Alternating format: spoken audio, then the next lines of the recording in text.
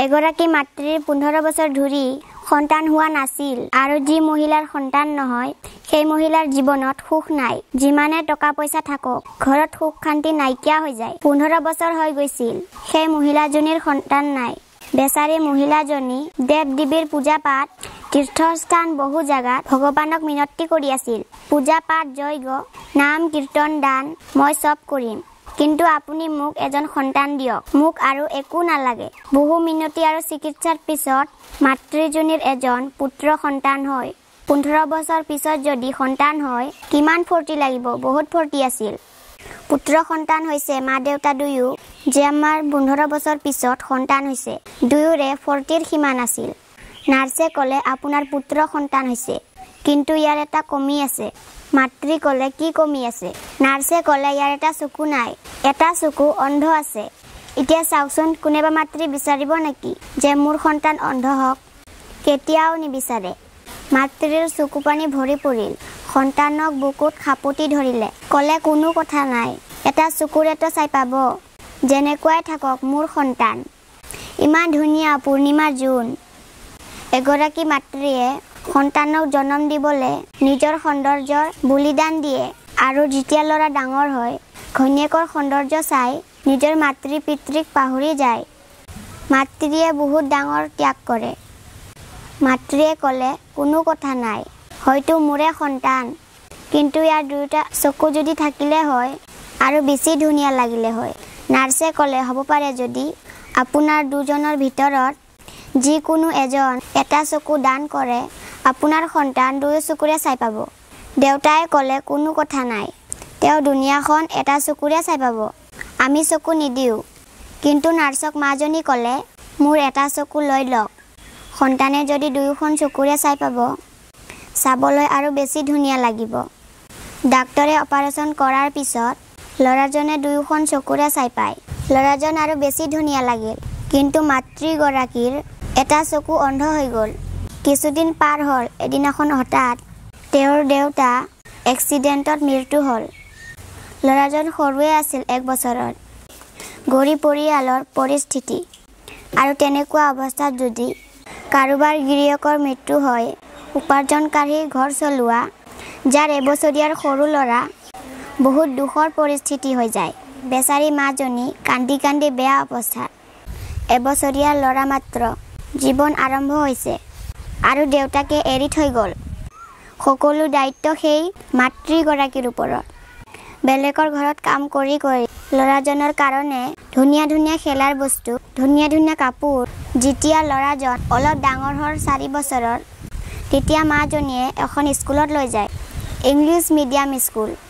আৰু মাষ্টৰক কয় যে ছাৰ মোৰ ল'ৰাজনক এই স্কুলতে ভৰ্তি কৰি দিয়ক।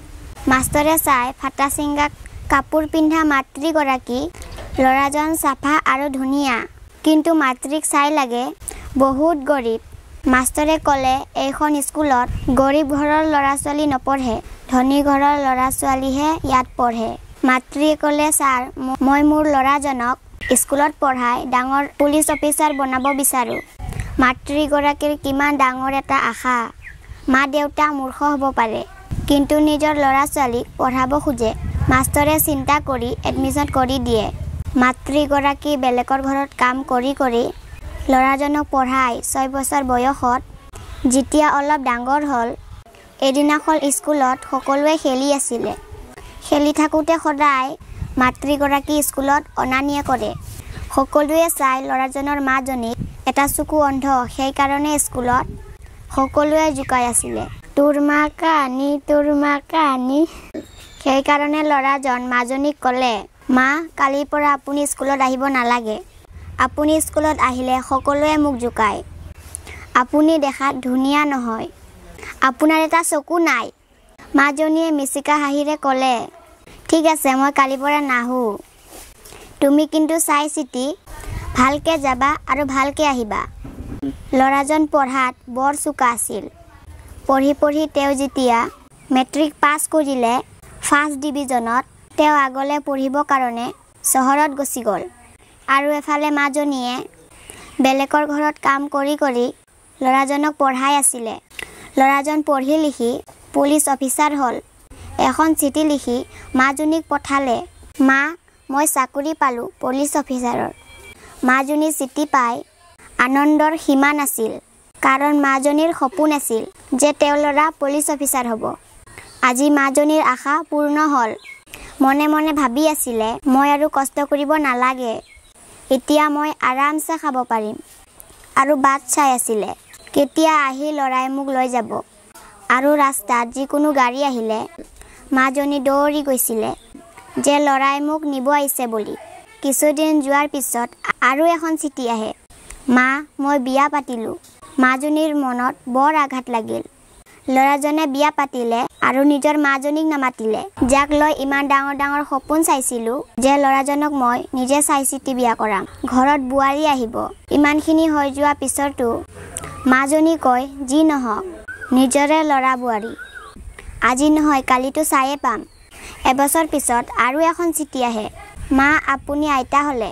এইবাৰতো মাজনী ৰখিব নোৱাৰিলে। বোৱাৰীৰ লগত নাতিয়েকক চাব আইতাই।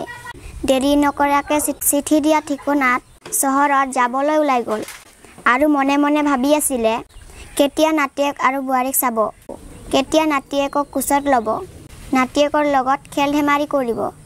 আৰু চহৰতে নিজৰ ল'ৰা বোৱাৰী আৰু নাতিয়েকৰ লগত একেলগে থাকিব? যেতিয়া চহৰত গৈ পুলিচ অফিচাৰৰ দুৱাৰমুখত পালে লগে লগে দুৱাৰপাল আহি যায়। আৰু দুৱাৰপালে কয় ক'ত যায় আপুনি? মাজনী কয় মই মোৰ ল'ৰা ঘৰত যাওঁ। দুৱাৰপালে কয় এইটো পুলিচ অফিচাৰৰ ঘৰ। মাজনীয়ে কয় এই পুলিচ অফিচাৰজনে মোৰ ল'ৰা। দুৱাৰপালে মনে মনে ভাবে এজনী কেনেকুৱা পুলিচ অফিচাৰ মা হ'ব পাৰে? আৰু কয় আপোনাৰ কি প্ৰমাণ আছে? যে পুলিচ অফিচাৰজন আপোনাৰ ল'ৰা। মাজনী কয় প্ৰমাণ আছে এই চিঠিখন লোৱা। দুৱাৰপালে চাই সঁচা চিঠিখন ইয়াৰে হয়। দুৱাৰপালে যাবলৈ দিয়ে। মাজনী যেতিয়া ঘৰত সোমাব বাৰাণ্ডাত চাই পালে ঝুলনাত নাতিয়ে শুই আছে। মাজনী ভাবিলে আগতে নাতিয়কক চাই লওঁ এই বুলি জোৰনাৰ পৰা নাতিয়কক কোচত ল'লে। কিন্তু নাতিয়েকে জোৰ জোৰকৈ কান্দিব ধৰে। বোৱাৰীয়ে জোৰ জোৰকৈ কান্দা শুনি ভিতৰৰ পৰা ওলাই আহিল। লগে লগে ল'ৰাজনো ওলাই আহিল। বোৱাৰীয়ে বাহিৰত আহি চাই ফাটা চিঙা কাপোৰ পিন্ধা এটা চকু নথকা ভিকাৰীৰ নিচিনা চুৰ কৰিব আহিছে বুলি দুৱাৰপালক মাতিব লাগিল। মাজনী ক'লে মই তোমাৰ শাহু। এইজন মোৰ ল'ৰা আৰু মই কোচত লোৱাজন মোৰ নাতিয়েক হয়। বোৱাৰীজনী ল'ৰাজনক সুধিলে এইজনীয়ে নেকি তোমাৰ মা? ল'ৰাজনে ঘৈণীয়েকক চাই ক'লে এজনী মোৰ মা নহয়। নাজানো ক'ৰ পৰা আহিছে। মইতো চিনিয়ে নাপাওঁ। ল'ৰাজনৰ কথা শুনি মাজনী ভৰি তলৰ পৃথিৱীৰ মাটি নাইকিয়া হৈ গ'ল। মাজনী ক'লে মই ভুল ঠিকনাত আহি গ'লোঁ। ক্ষমা কৰিবা মই যাওঁ। তাৰ পৰা ওলাই আহোঁতে ভাবি আছিলে এতিয়া আৰু মই ক'ত যাম? কাৰ কাৰণে বাচি থাকিম? দুৱাৰমুখত আহি দুৱাৰপালক ক'লে মোক এখন চিঠি লিখি দিয়া যাৰ কাৰণে মই পোন্ধৰ বছৰ ভগৱানৰ ওচৰত পূজা পাঠ কৰি কিমান দূৰ দূৰত গৈ তীৰ্থস্থান যাত্ৰা কৰি কীৰ্তন হোম যজ্ঞ কৰি কিমান নাম কীৰ্তন কৰাৰ পিছত তুমি জন্ম হৈছিলা। যেতিয়া জন্ম হৈছিলা তোমাৰ এটা চকু নাছিলে। দেউতাকে কৈছিল একো নহয় দুনিয়াখন এটা চকুৰে চাই পাবা।